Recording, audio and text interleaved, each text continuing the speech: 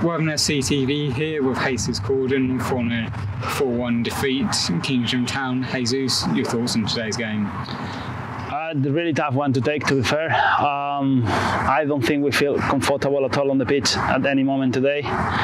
I think um, you know we couldn't find our football the way that we wanted to play, um, and yeah, and that you know frustrate they were frustrating us. We, we got frustrated on, on the pitch um, during the game, and they were just taking taking their chances. And, and yeah, it was at some point when we were we scored and we were two one down that we maybe could give it a push, but then we just concede again and and yeah, it's a tough one because yeah, I don't think we feel comfortable at all on the pitch.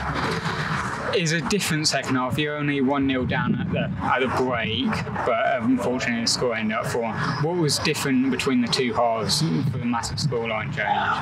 I think they just take the opportunities. We obviously were one-nil down at half time, so we came out thinking like, okay, let's we need to we need to come back this and, and score goals and and attack more. Um, and you know, and and they catch us in a couple of counterattacks, and and yeah, they, they took it. They, they took advantage of their opportunities, and and we couldn't find our football. That's that's the reality. Not in the first half, and not in the second half either.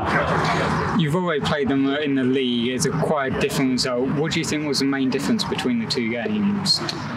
Um, I don't know. Maybe in the other one we were more clinical. Um, it's true that 100% they defend better today. Um, they were more compact. Uh, for us, it was it was harder to break them down. But um, I always look more at ourselves than than the other team. And, and even if they defend better, we, as I say, we we couldn't find the way that we wanted to play, and we try and, and we kept trying, but yeah, it wasn't the day. Just a quick look ahead. It's quite an important game next week. FA Cup second round against Aylesford. After a poor couple weeks worth of results, how do you look to change these and turn these into wins? Well, we need to obviously bounce back. Uh, we need to stick together. We need to, to react. Um, I think we are training well. I think last week actually we played some good football. Today for sure we have some good moments too. But it has to be more consistency in what we're doing and, and yeah, just stick together, bounce back, have a good week, and, and go for it 100%. Brilliant, thank you.